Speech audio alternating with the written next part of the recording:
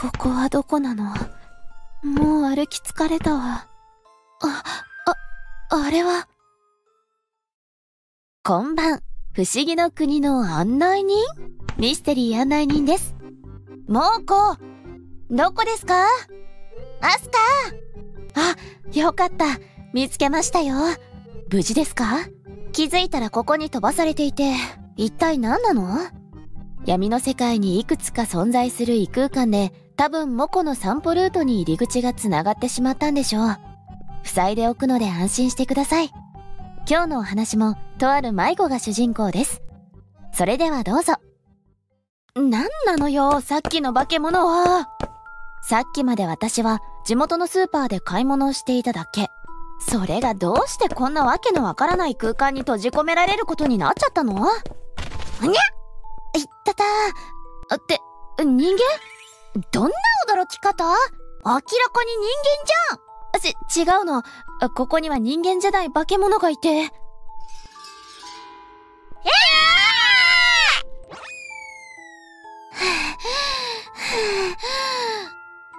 い、一体ここは何なんだにゃ私にもわからなくて。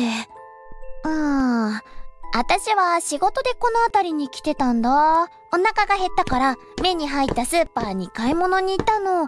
そしたら急に店内が停電して気づいたらここにいたんだにゃ。私も似たような感じ。えっと、あなたは？ガーナだよ。あ、ガーナちゃん。私はミヤ。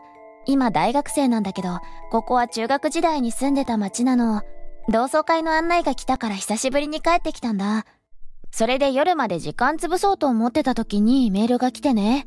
送り主は名乗らなかったから誰かわからないんだけど、私に買い出しを頼みたいって言うからこのスーパーに来たんだ。ガーナちゃんが入ったのと同じスーパーだと思う。停電があったって部分も一緒。ミーヤちゃんはたまたまそのスーパーを選んだの？ううん、メールで指定されたの。ここにしか売ってないドリンクが欲しいからって。はーん。送り主が誰かもわからないメールよく怪しまなかったね。同窓会のこと知ってるくらいだから同級生の誰かだと思って。あ、でも、今思えばおかしいよね。中学時代と今の私の連絡先違うし。ふむ。とにかく、今はここから逃げるのが先かな。あの化け物、とりあえず負けたけど、まだ私たちのこと追ってくるかもしれないもんね。ガーナちゃんはおそらく私より少し年下くらいかな。仕事しているって言ってたし、しっかりしてるんだな。あ、て、うわ軽い軽い！ちょ、ちょっとガーナちゃん？なんとガーナちゃんは、ひょいっと私を抱えてしまったの。私が抱えて走った方が早いから、任せておいて！って、で、出た！もうおしまいよ！私たち、ここで死ぬんだわ！やられてたまるかガーナちゃんは私を抱えたまま、ものすごいスピードで化け物の横をすり抜け、廊下に飛び出した。でも、化け物は声を発することもなく静かに、でも、不気味な動きで追いかけてきたの。ひゃ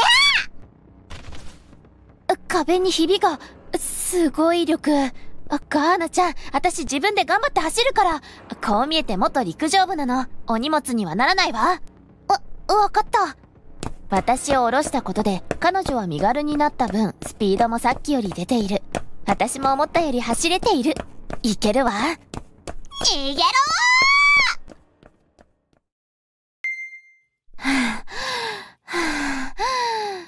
あいつもまだまだ追いかけてくるし、出口も見つからない。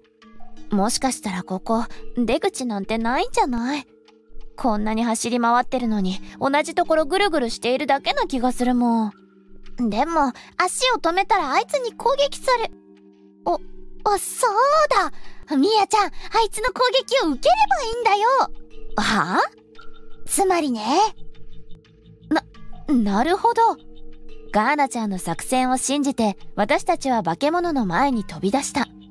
急に逃げなくなった私たちを見て一瞬動きを止める。でもすぐに思いっきり腕を振り上げ私たちめがけて打ち込んできた。今だよ。うん。私はガーナちゃんの合図に合わせ化け物の攻撃を避ける。腕を振り下ろすだけの単純な攻撃だからタイミングさえ分かれば私でも避けるのは簡単だった。その結果やっぱりだ。よし飛び込むよ。オッケー。私たちは穴の中に思い切って飛び込んだな、んとか助かった？ガーナちゃんの作戦はうまくいったあの化け物が攻撃で壁にひびを入れていたのがヒントになったらしいあの空間から逃げるには化け物の力を利用する。それが正解だと思うとガーナちゃんは気づいたんだ。私より年下なのに本当にすごい。さっきとは明らかに違う雰囲気だね。あ、っていうか、普通の綺麗な家？地下なのに外の景色がある。玄関開けてみようよそうだね。そのまま脱出できるかもしれないし。私は緊張しながら玄関の扉に手をかけた。すると、く、暗闇。なあ、外の景色はフェイクだったか。そううまくはいかなかった。扉の向こうには光がないと一歩も動けないような真っ暗闇が広がっているだけだったんだ。閉めちゃおうか。ここからまたさっきの化け物みたいなのが入ってきたら嫌だし。ああ、また正しい脱出方法を考えて。あれ？みやちゃん、閉めるの待って。え？誰かがこっちに来てる。化け物？違う。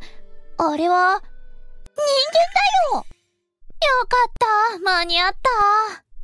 助かっただからそんなに心配いらないって言ったんだよ、俺は。ぼ、僕が冷静になれってみんな落ち着かせたからだろ入ってくるなり騒がしいな。あなたたちは、え、みやちゃんの知り合い？うん。飛び込んできた4人組、全員に見覚えがあった。本音を言えば会いたくなかったけどね。でもどうしてここに？みーや久しぶりじゃん何？同窓会に行こうとしてたわけ？そうだよ。なるほどみんな同じ中学の同級生ってことだ。そう。ピーチちゃん、キーちゃん、ワルツくん、ケンくんだよ。よろしくよろしく。うんってずいぶんお気楽ね。あんたたちも気づいたらここにいたんだろ？そう。みんなもしかしてこのスーパーに来るように言われた感じ？そうだよ。君たちがドアを開けてくれなかったら真っ暗闇をさまよい続けるところだった。助かったよ。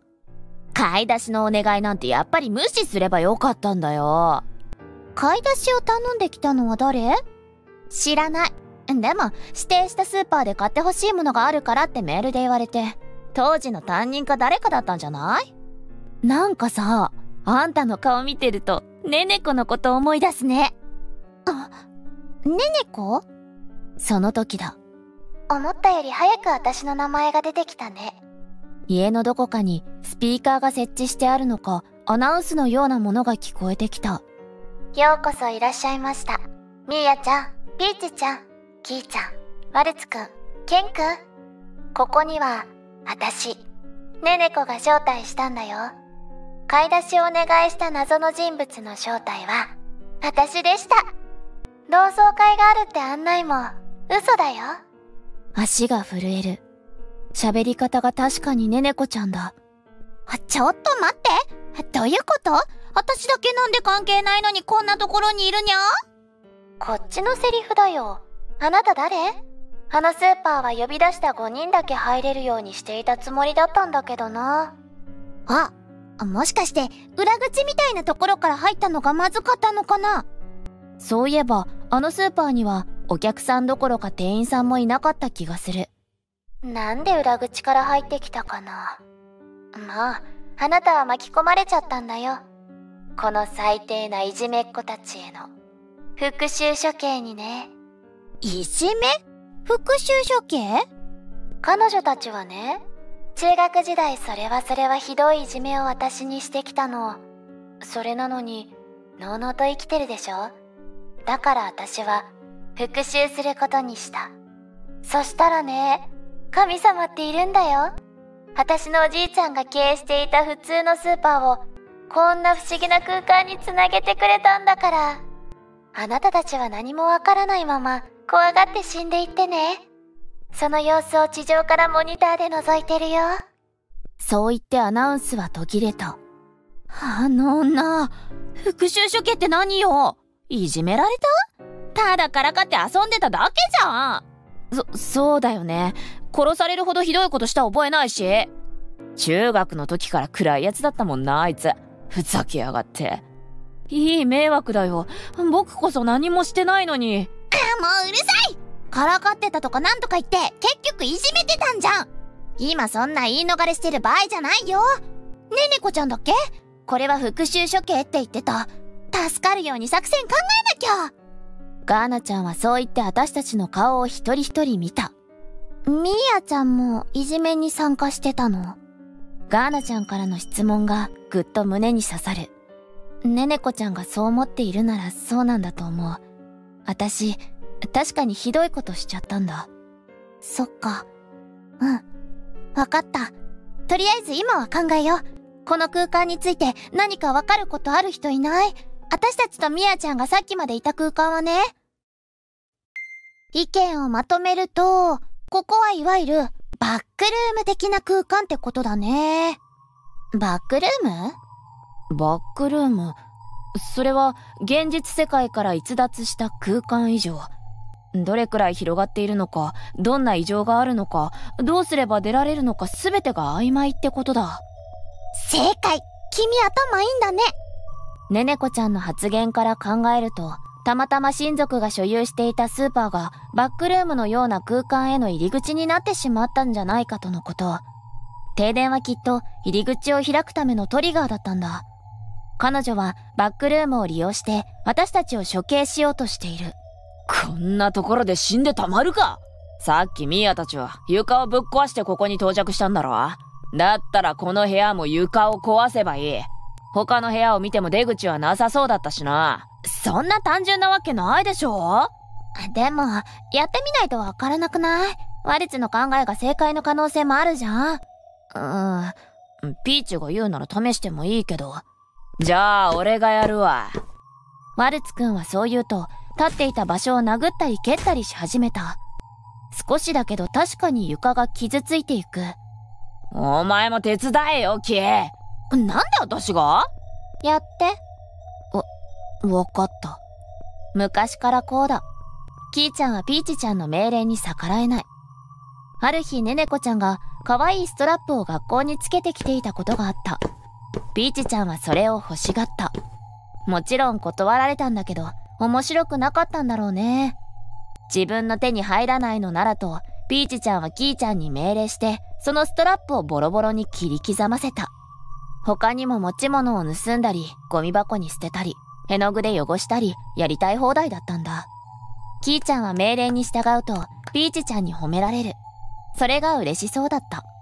ふっええ、俺もだいぶ強くなったからな。穴が開くのもあと少しだろ。マルツくんは昔から力自慢だった。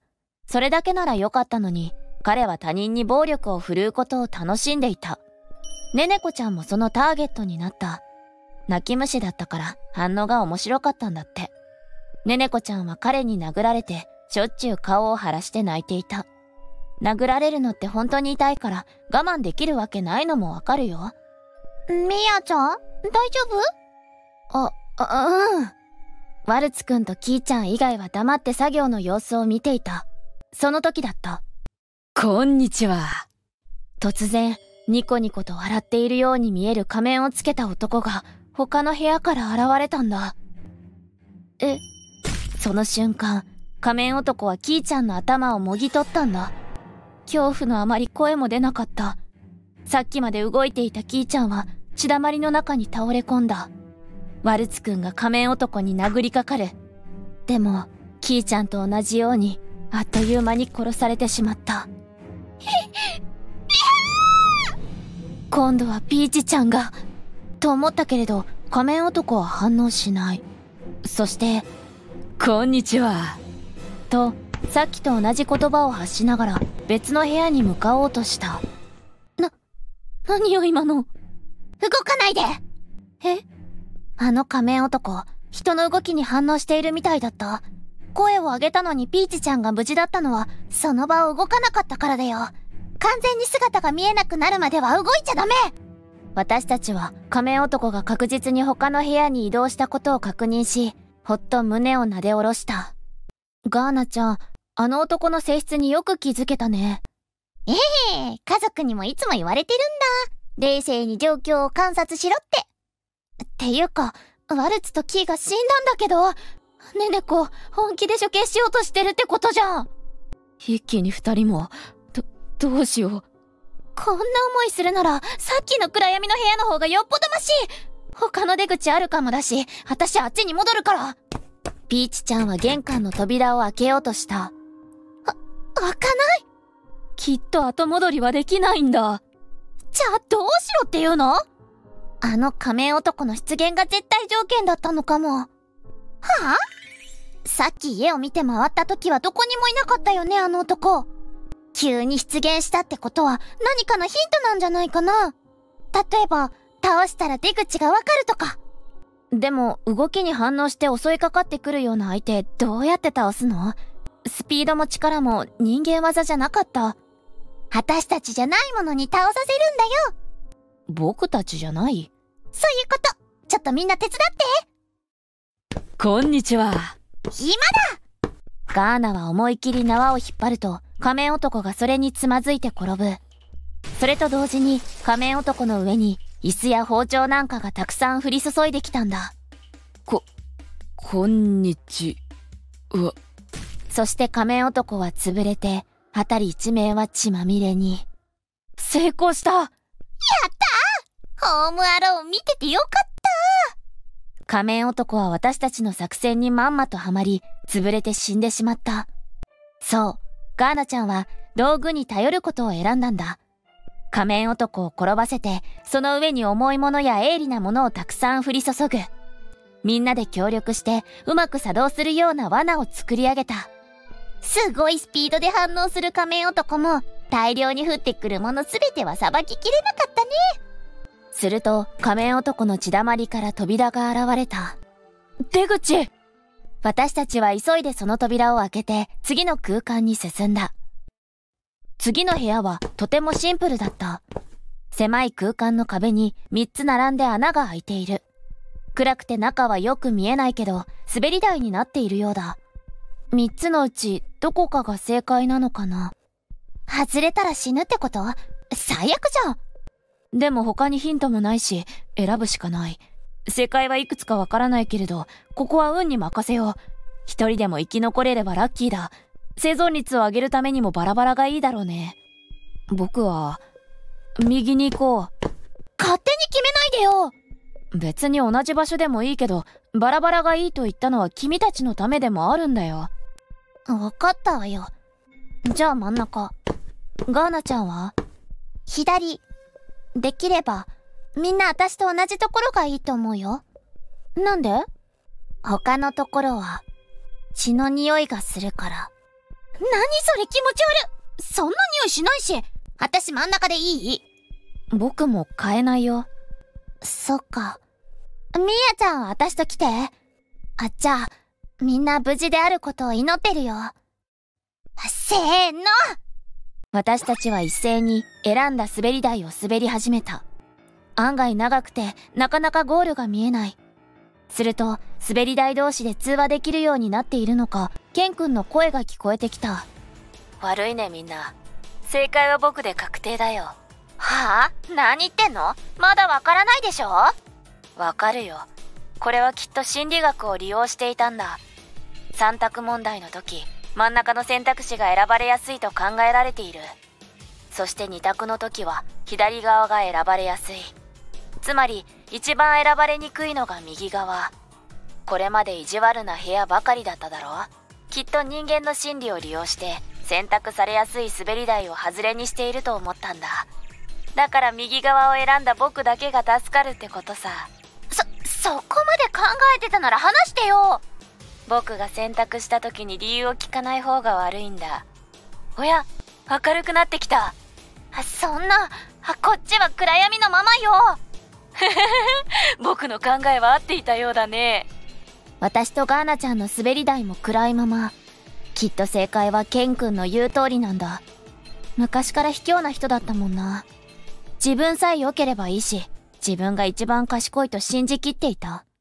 だからある時の期末テストで、ねねこちゃんがトップだったのが許せなかったんだ。ねちねちと精神的に来るような攻撃をずーっとしてた。悪口を言うなんて可愛いもの。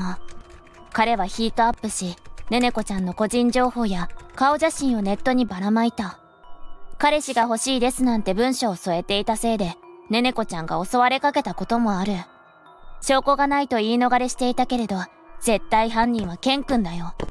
そんなことできるのは彼くらいしかいなかった。僕は一人でここを脱出してみせるよ。そしてこんな目に合わせたあいつを警察に突き出して。ん？う、わなんで？なんで手口に刃物がぎっしりと。こ、このままじゃ僕は、細切れじゃないか。やだ。忘れたなんて信じない。いや、あものすごい断末魔が響いた。と思うと、私とガーナちゃんは何事もなくゴールにたどり着いたんだ。どうやら、剣の滑り台だけ外れだったみたいね。さすがに緊張したにゃー。あ、でも、まさかピーチちゃんの滑り台も無事だったなんて。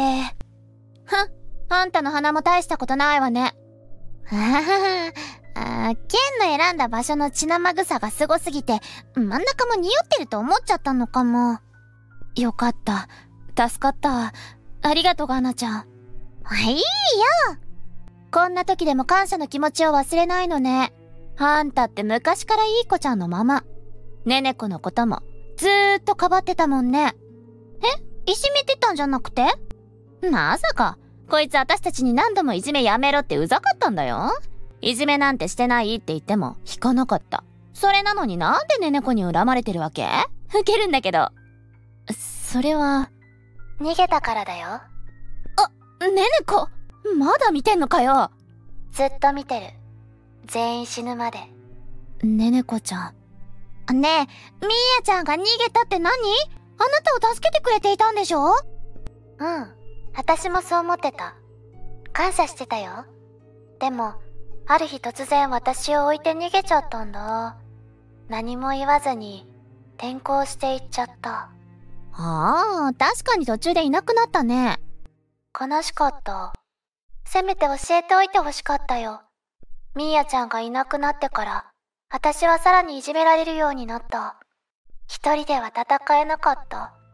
このままじゃ自分もターゲットになるかもと思って逃げたんでしょ連絡先まで変える徹底ぶりだったもんね。ち違う。私はそんな理由で転校したわけじゃ。あんたたち友達のくせに何も知らないの？ねえねこ。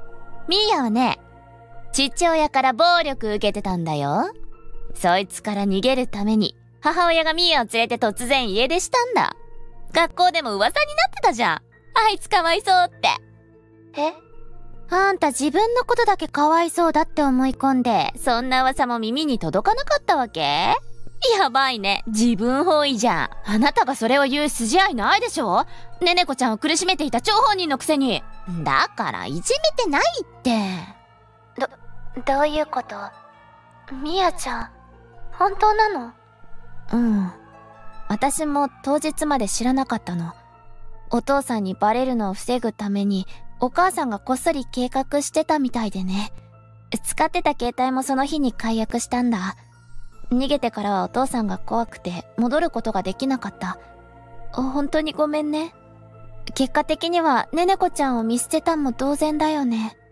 あ、私、みやちゃんの事情何も知らなかった。暴力受けていたことも何も。そんな状況で私を助けてくれていたの。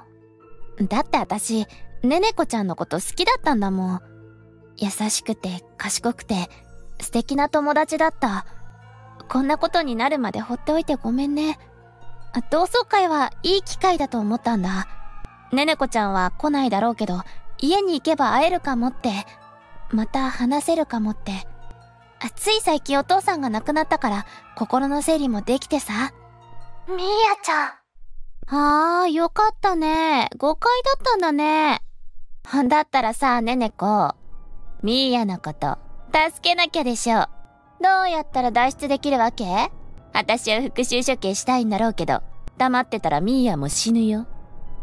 な、なんてずうずうしい態度だにゃその部屋は最後の部屋のつもりだったそこはね二人死ねば出口が現れるんだよほら部屋の隅にたくさん武器があるでしょそれで二人命を絶つそれしか脱出方法はない二人ねふーんあなたまさか私とミヤちゃん殺すつもり？それしかないなら仕方ないじゃん。私行きたいし。ガーナちゃん、ごめんね。あなたは完全に巻き込まれたんだもん。私とピーチちゃんを殺して、生き延びて。バカ言わないでミーヤちゃんを殺すなんて無理だよでも、その時、包丁を持ったピーチちゃんがガーナちゃんに襲いかかった。ほーらう、本気で殺しに来てるガーナちゃんは簡単に避けて包丁を奪い取った。うん、でもピーチを殺しても何も解決しないし。その時だ。ミヤちゃんね、ねねこちゃんどうしてここに？私はこの空間をたくさん研究して詳しくなったの。ワープで移動することもできる。この部屋に入ったのは初めてだったけど、うまくいった。入るだけの一方通行で正規の手段じゃないと出ることはできないけどね。間に合ってよかった。何のつもり？ミーヤちゃんに謝りたかった。勝手に誤解して殺そうとまでするなんて。ごめんね、ミーヤちゃん。あんなに守ってもらったのに、あなたのことを信じきれなかった。そんな、いいよ。だから、お詫びしたいの。え？ここで死ぬのは、私とピーチ、ミーヤちゃんと、あ、ガーナちゃんだっけ巻き込んでごめんね。私たちが死んだ後に出口から脱出して。勝手に話進めないでよ。死ぬのが私とあんただ？絶対嫌。嫌でも仕方ないよ。これはあなたのせいで始まったことだよ。いじめのリーダーはあんただった。人に命令して自分の手を汚さないようにする。一番汚いやつ。許せない。だから一緒にここで死のう。近づくなバイバイ、ミーヤちゃん。どうか幸せになってね。私もね、あなたのことが大好きだったよ。い、嫌だ こちゃんガーナちゃんはねねこちゃんがピーチちゃんを殺す瞬間を見せないよう私を抱きしめた。ピーチちゃんの声が聞こえなくなったと思ったら、次に聞こえたのは銃声。きっとねねこちゃんが自分を撃ったんだ。出口が現れたよ。行こう、ミヤちゃん。私はガーナちゃんに支えてもらいながら、なんとか外に出た。て、出られたさっきまでの出来事は嘘だったんじゃないかと思うほど、穏やかな空が広がっている。でも、隣にネネコちゃんはいない。ありがとうガーナちゃん。最後まで寄り添ってくれて。ううん。ねねこちゃんのことは残念だったけど、せめて最後に誤解が解けてよかった。あ、でも、今日のことは夢だったと思う方がいいよ。誰に言っても信じてもらえないし。そうだね。はっじゃあね。ねねこちゃんが言ってた通り、幸せにならなきゃダメだよ。ガーナちゃんはまた私を抱きしめて去っていった。あの空間は一体何だったのかしらね。人の強い怨念が引き起こした得意空間だったのかもしれませんが、あの入り口もしっかり塞いでおいたので大丈夫ですよ。あの日死んだメンバーは全員地獄に落ちました。これからその罪を償うことになります。ねねこさんは被害者ですが、それでも人を殺したことに変わりはありませんからね。皆さんも人の恨みを侮ることなかれですよ。それではまた。バイバイチーンあれから半年経った。ピーチちゃんたちは行方不明者として扱われているらしい。同情する気持ちはこれっぽっちも湧かない。あれは、因果応報だったんだ。誰が手配したのかわからないけど、あのスーパーは取り壊された。私は今、いじめに苦しむ子を救うため勉強を頑張っている。教師や弁護士、役に立てる職業に就くつもり。見守っていてね。